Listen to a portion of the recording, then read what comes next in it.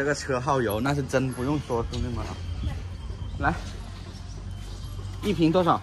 一瓶十二块呀。十二是吧？好，我先加了再给你钱好吗？在这个车，因为我，呃，从那个平墙上来还有三格油，我又上来上了四十公里，车马上就没油了啊。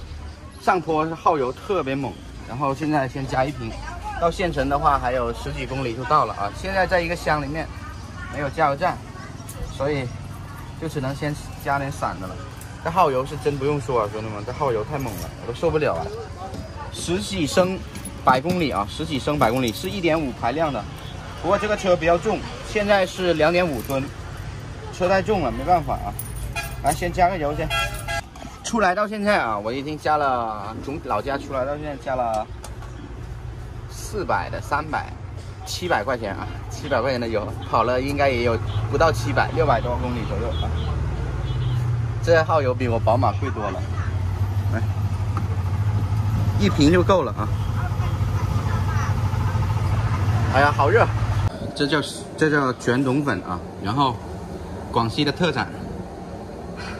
这个叫做什么椒来着？五仔椒啊！昨天晚上呢，我也做饭的时候我也吃了啊，也好多人买了。我直播间卖这个椒啊，就广西的特色就是这样子。然后再煮了一碗那个生料粉，一人吃两份啊。饿了，到一个乡里面加油的话没地方加，只能买了散装油。现在油呢加好了啊。嗯，嗯。这辣椒真有味，脆脆的。好的，嗯，看这里又来一份生料粉，嗯，不知道多少钱？多少钱啊？两份？十一块。十一块啊，很便宜啊，十一块钱能吃了五饱六饱的。好了，我们吃吃粉了，兄弟们。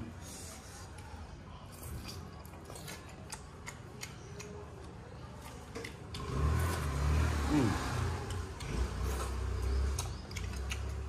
味道可以。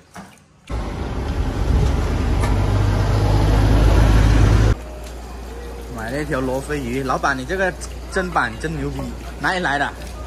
啊，这菜板，兄弟们，这是我见过最最厉害的菜板，这是红木吗？啊？红眼木的。红眼木。我的天呐，可以用多久啊？这个？这是我见过最。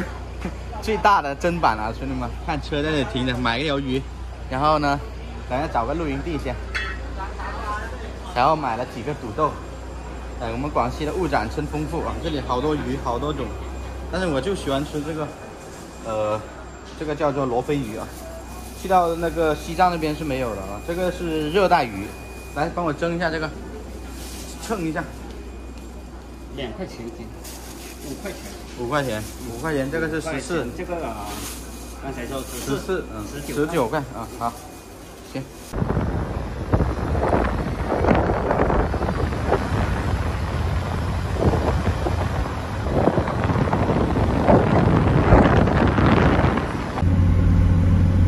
高速公路上，你给我跑四五十码，我的妈呀，一点点上坡就跑不动，兄弟们，所以热的要死。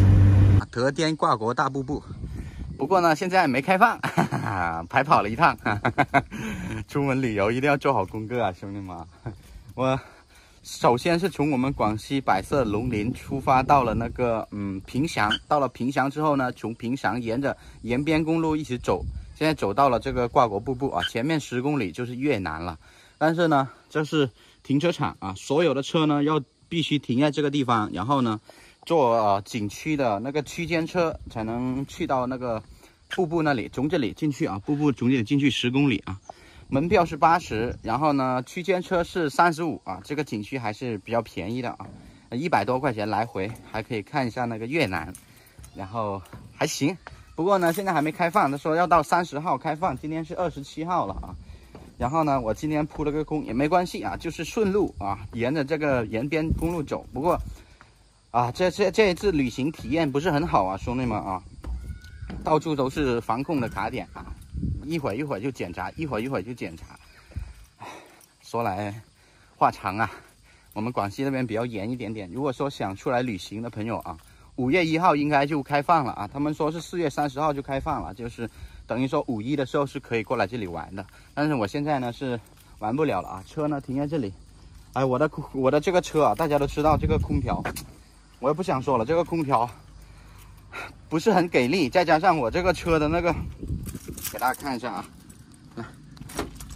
我这个车的那个发动机啊，发动机是在这个底下啊，那个热气老是往外冒啊，就特特别是从这个洞啊，从这个洞里面往外冒，然后呢，这个空调呢也不是很给力，里面是真热的不行，只要一开窗那个。底下的个那个气啊，就好像在循环一样啊，底下的那个空气在循环。你的关了窗，然后开了空调还好一点点。如果说你开了窗，哎呀，那里面就是烤炉似的啊。这个不是一点一点都不吹牛的啊，特别特别热，特别难受。然后呢，我看一下今晚上呢就在这个地方露营了。他们说下面呃两两公里那边还有个房车营地，我想去看一下。如果说那个营地没有这边好的话，我今晚上就在这个地方露营了。然后呢，明天继续出发。明天的话，应该就能到云南了，兄弟们，明天正式进入云南了。广西的话，山水特别漂亮，就是太热了啊，天气热。为什么很多人啊，就是夏天不选择来南方旅游自驾游的原因呢？不是因为我们这边的那个风景不漂亮，而是太热了，受不了。因为我们自驾游的话，以前我开小车。睡在小车里面，然后现在换了这个房车，一样睡在房车里面。那太阳一晒啊，就是闷热的很啊，受不了啊。然后准备进云南了。云南的话，天气会比较凉快一点，因为海拔比较高嘛。他们相对来说海拔是在两千左右啊，所以说比我们这里会高很多。我们这里海拔在三百、四百。哎，你看我说话一个劲，手都湿了。好了，我们先下下去下面那个房车营地去看一下那个露营地怎么样。如果可以的话，就在那里露营啊！来，空调是开了，看到没有？但是没什么用啊，这个热气是从这里冒上来啊。好了，我们先去看一下那个房车营地，如果行的话就在那里待，不行的话我们就上来这里露营啊。看到界碑了没有？中国八四四啊，二零零一。然后哇，这水真绿。呃，这里也有有那个瀑布啊，兄弟们，看到没有？对面应该是越南了吧？我搞不懂啊。到底是还是不是，我也不懂啊。这里全是铁丝网，这么拦着啊，一路拦过去，这么拦的，我的天呐！好了，我在前面再去看一下，他们说有房车营地啊，全是铁丝网拦住。刚刚呢去看了那个房车营地啊，实在太贵了，我就回来了。环境还可以吧，有很多那个草坪，嗯，然后一晚上是九十八块钱，没有电，然后没有看到有水。但是我觉得太贵了，我就回来了啊。这个停车场看到没？